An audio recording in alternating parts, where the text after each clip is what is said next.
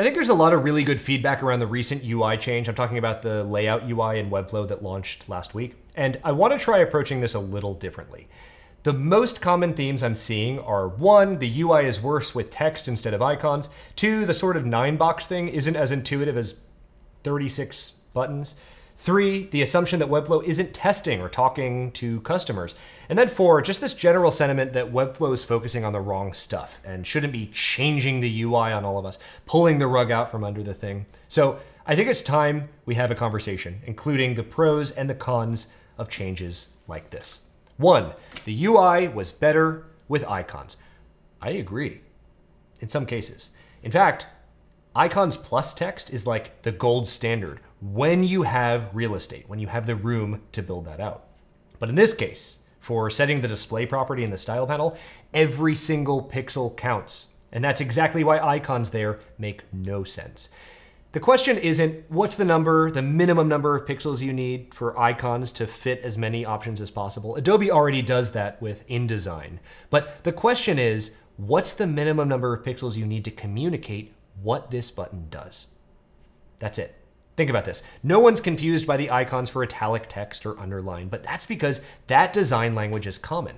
But overwhelmingly, icons alone do not communicate complexity very well, especially in pro apps, and especially with something as complex as display settings.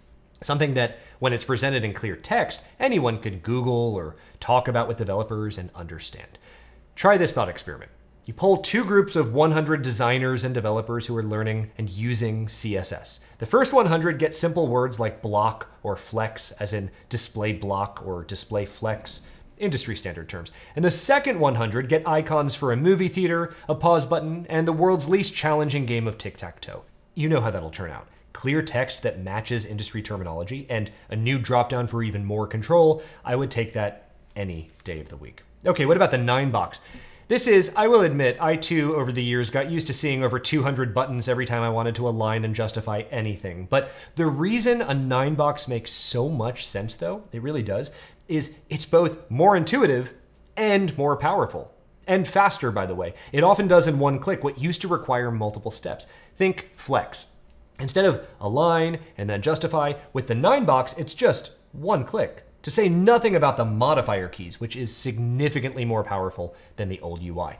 Now, does it take a little longer to learn the edge cases? Sure, but it's all there. If I want the items in a container to glue to the right and the vertical center, do I want to hunt around two different rows of 70 buttons, or do I just want to click in the 9 box where I want the stuff to go? This is the kind of stuff, this is the kind of UI where visual development wins every time. And I get it. Some people aren't fans of Figma's UI and some of the other stuff that's out there, but the 9 box works. It's also, by the way, how great design evolves. Ask any Windows user, myself included, who said the Mac OS dock was inferior to a start menu for the first decade that both existed. Then take a close look at Windows 11. Great product design converges around interfaces that make sense. And great product design takes on the risk of pissing off some users to build a better product. Now, there are edge cases where you're going to need an extra click here or going to a drop down over there, but as you use it more and more, it gets so much faster than the old interface and certainly more intuitive. Okay, does Webflow test with users? Yes, obsessively. And by the way, the people making decisions about this interface, this didn't come from a room of advisors or consultants. This was built and user tested and iterated upon. This was all done for Webflow designers and developers by Webflow designers and developers who happen to work at Webflow.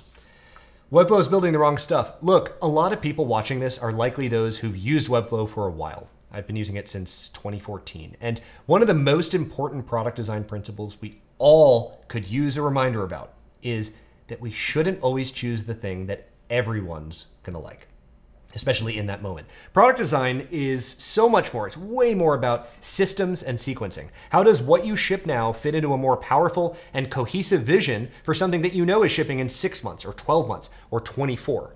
There is nothing more fundamental, nothing more critical to web development than layout. Nothing else matters if you can't build the layout. So when someone says, why are they focusing on this? I want to see what work they're doing in Webflow that doesn't begin and end with production grade layouts. Layout is an area that needs really big thinking, tons of change over time. And I can't wait for it to continue to improve, not just at Webflow, but layouts overall on the web.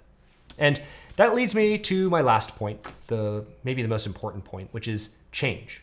Because in even the best cases, change can feel jarring. It's completely valid. We get so used to a thing being a certain way that even when something's better or faster, our minds do this thing. Our inner monologue says, that's not right. That's not what I expected. And it's that kind of friction, that's what usually feels off. But we take it further, and we sort of work backwards from there to rationalize why we don't like that new thing. I liked it better before, we say, and the new version of whatever is awful, and they don't care about users. A lot of perfectly valid opinions, even if some of those opinions are wrong. But here's my opinion change can be good.